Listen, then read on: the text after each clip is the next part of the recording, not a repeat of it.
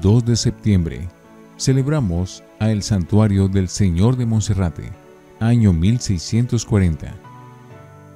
Su nombre Monserrate, o Monte Aserrado, o montes en forma de dientes de sierra, es el nombre de cierta montaña muy famosa de España, no muy lejana a Barcelona, en el cual hay un santuario famosísimo de la Santísima Virgen llamada Virgen de Monserrate, y a donde continuamente llegan millares de peregrinos de todo el mundo.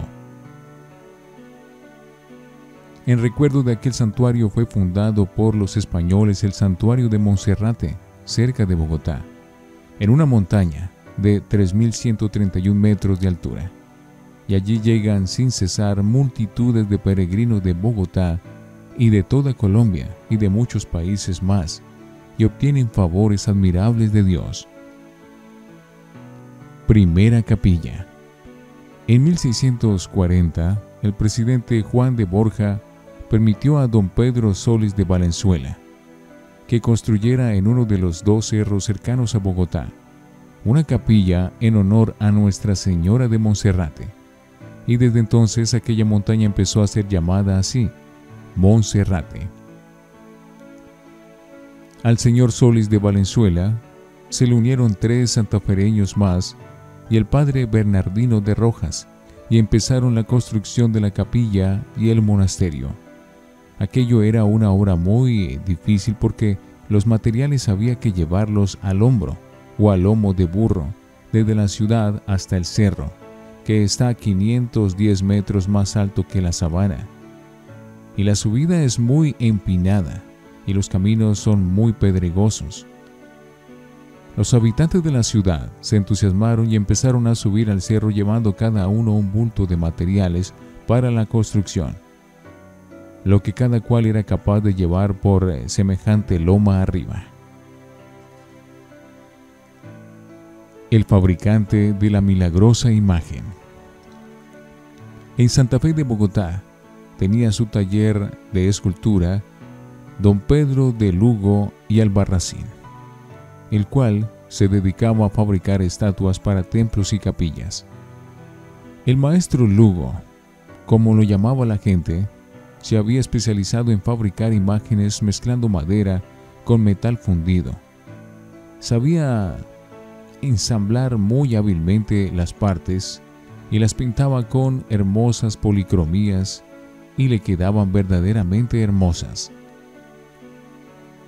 El padre Rojas le encargó al maestro Lugo que hiciera una imagen de un Santo Cristo caído, azotado y clavado en la cruz. El costado de la imagen fue de 40 patacones. El patacón era una moneda grande de plata que quizá hoy valdría unos 5 dólares. Don Pedro de Lugo entregó puntualmente la estatua en la fecha pactada, y esa es la famosísima imagen que los bogotanos tanto aman y junto a la cual se han conseguido maravillosos milagros.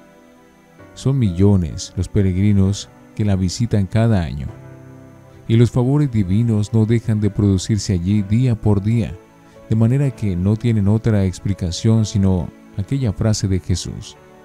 Según sea tu fe, así serán las cosas que te sucedan. Mateo 15:28. Recordemos que lo que obtiene milagros no es la imagen, sino la fe. La imagen en su trono. La estatua fue llevada a Monserrate y junto a ella empezaron a obrarse tan maravillosos milagros que fue necesario hacerle un camarín especial para que la gente pudiera rezar allí frente a ella. Y los milagros siguieron produciéndose de manera tan prodigiosa que esta imagen llegó a ser una de las más famosas de la capital. Una vez más, la mamá le dejaba el primer puesto al Hijo Divino cumpliendo aquella frase del Evangelio. Conviene que Él crezca y sea cada vez más conocido y más amado, aunque para ello no tenga que pasar a un segundo nivel. Recordemos siempre que la que hace el milagro no es la imagen.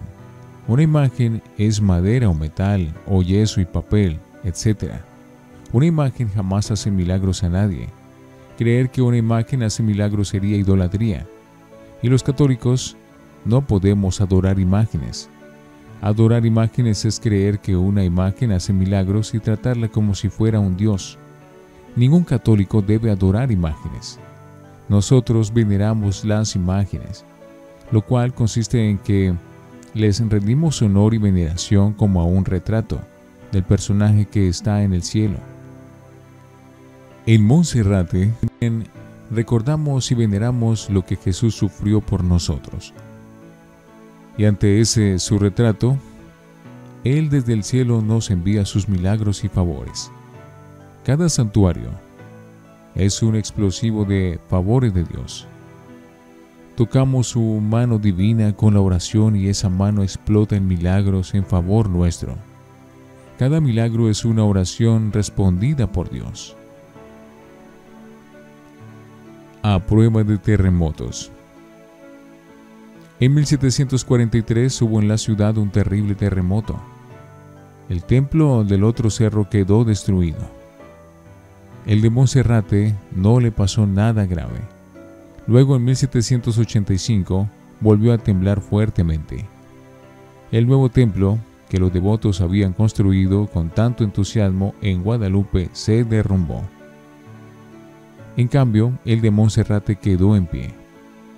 Nuevamente hubo un terremoto en 1827. Muchas casas de Bogotá cayeron destruidas y también el tercer templo del otro cerro. En cambio, el de Monserrate permaneció en buen estado. El 31 de agosto de 1917 hubo en Bogotá tres espantosos temblores. El templo de Guadalupe cayó a tierra, como muchos edificios más de la capital. El de Monserrate permaneció en pie para admiración de muchos. Los geólogos explican todo esto diciendo que Monserrate está sobre una roca muy fuerte y que allí sucede lo que dice el Evangelio. Cuando una edificación está construida sobre roca, aunque lleguen los embates de la naturaleza, no cae, porque está hecha sobre roca. Mateo 7, 25. 1915. Construcción del nuevo templo. Cuando se necesitaba un templo más amplio y hermoso para tantos miles de peregrinos, se empezó en 1915 la construcción del nuevo santuario de Monserrate. Se vio entonces un hecho admirable. Cada día festivo subían miles y miles de peregrinos llevando cada uno un ladrillo u otro material de construcción y hasta los niños llevaban su ladrillo, y si por el camino los eh, dominaba el cansancio, dejaban el ladrillo allí en la orilla, con la seguridad, con la seguridad de que un peregrino que subía después angustoso hasta la cima del cerro, para agradar a nuestro Señor. Concurso de generosidad. Y durante la construcción del templo al Señor de Monserrate hubo un verdadero concurso de generosidad entre los bogotanos. Veamos algunos ejemplos. Los albañiles y los maestros de obra no cobraban sino la mitad del sueldo y el resto lo dejaban como regalo al Señor. Y trabajaban con mucho empeño y consagración para que la obra resultara lo más perfecta posible.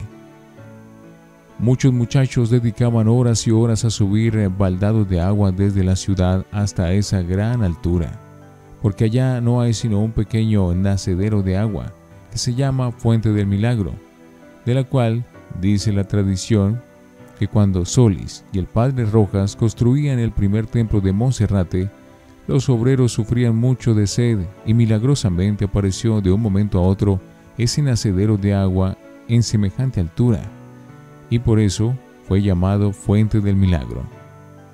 En 1917, el temible terremoto sacudió muy fuerte a Bogotá, pero los ingenieros subieron a Monserrate y comprobaron que los cimientos y paredes del templo en construcción estaban buenos y se siguió edificando.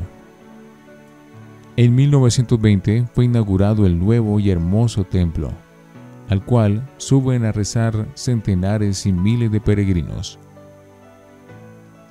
¿Y el Señor de Monserrate ha bajado alguna vez a Bogotá? Para los bogotanos, el Señor de Monserrate es uno de los grandes amores, junto con la Virgen de Bojacá y el Niño Jesús, que se venera en el barrio 20 de Julio, son las tres grandes devociones de los bogotanos, pero la más antigua es la del Señor de Monserrate. Ya desde los siglos pasados, la venerada imagen del Señor caído se bajaba a la ciudad cuando había un eh, verano demasiado largo y que estaba haciendo grandes daños, o cuando llegaban terribles epidemias de viruela, de tifo o de otros males. La gente devota acompañaba piadosamente a la sagrada imagen y los favores tan deseados se conseguían prontamente.